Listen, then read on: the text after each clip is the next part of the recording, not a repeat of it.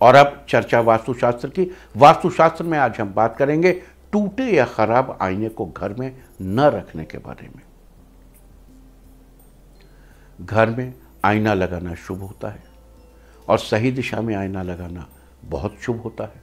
गलत दिशा में आईना लगाना खराब होता है, लेकिन टूटा या खराब आईना अशुभ फल देने से बढ़कर होता है। ऐसे आईने को घर में रखने से पॉजिटिव वाइब्रेशन कम होती है, घटती जाती है। और इस नतीजा निगेटिविटी जो है, वो बढ़ जाती है।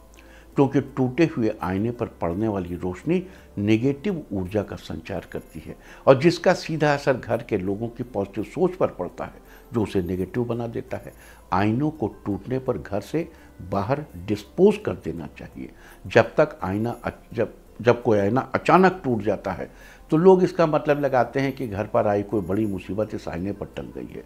अब ये, इसका कोई साइंटिफिक वैलिडिटी नहीं है। किसी लेबोरेटरी में ऐसा टेस्ट नहीं किया गया है। लेकिन ये एक मान्यता है। आप चाहें तो इस मान्यता को बरकरार रखें।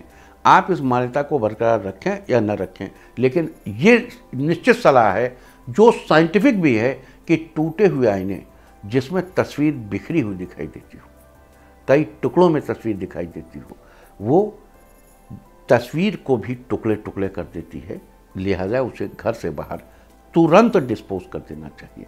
तो वास्तुशास्त्र में ये थी चर्चा टूटे या खराब आईने को घर में न रखने के बारे में उम्मीद है कि आप इस वास्तु टिप को अपनाकर फ़ायदा ज़रूर उठाएँगे। इंडिया टीवी हर वक्त, हर जगह। डाउनलोड करने के लिए सर्च करें India TV news, Google play store या एप स्टोर पर।